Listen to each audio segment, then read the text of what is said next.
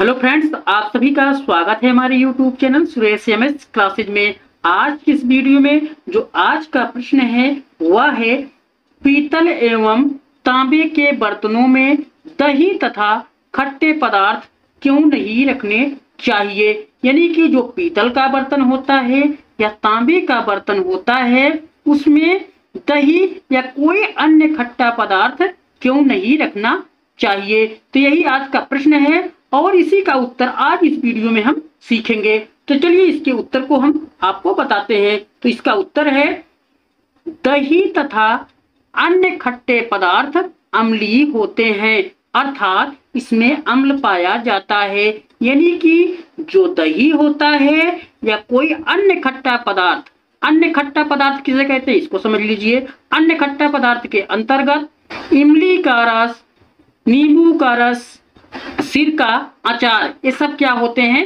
खट्टे पदार्थ होते हैं। यानी कि जो दही होता है या कोई अन्य खट्टा पदार्थ होता है, ये क्या होते हैं? अम्लीय होते हैं। अर्थात इसमें अम्ल पाया जाता है। यदि इन पदार्थों को पीतल एवं तांबे के बर्तनों में रखते हैं तो ये पदार्थ पीतल एवं तांबे के बर्तनों से अभिक्रिया करके हानिकारक लवण बनाते हैं। यानी कि यदि इन पदार्थों को, इन पदार्थों का मतलब होता है कि जो दही होता है या कोई अन्य खट्टा पदार्थ होता है, इसको हम जो है पीतल या तांबे के बर्तनों में रखते हैं तो क्या होता है? तो ये पदार्थ जो है, जो पीतल का बर्तन होता है या तांबे का बर्तन होता है, उससे क्या करते हैं? अभिक्रिया करते हैं, यानी कि अभिक्रिया करके हानिकारक लवण बनाते हैं।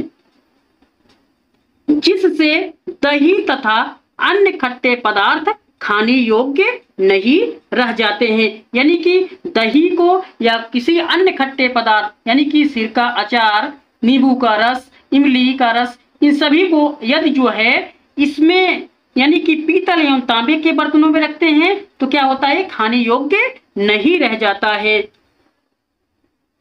अतः इन्हें हमें पीतल एवं तांबों के बर्तनों में न रखकर कांच, स्टील, प्लास्टिक चीनी मिट्टी या मिट्टी के बने बर्तनों में रखना चाहिए। यानी कि जो दही होता है या कोई अन्य खट्टा पदार्थ होता है, इसको जो है हमें पीतल एवं तांबे के बर्तनों में नहीं रखना चाहिए। यदि आपको इसे इसे रखना है तो आप जो है इसे कांच, स्टील, प्लास्टिक या चीनी मिट्टी या मिट्टी के बने बर्तनों में रखना चाहिए। तो इस तरीके से जो है इसका उत्तर हम आसानी से समझ लेंगे। तो आपको हमारा ये वीडियो कैसा लगा?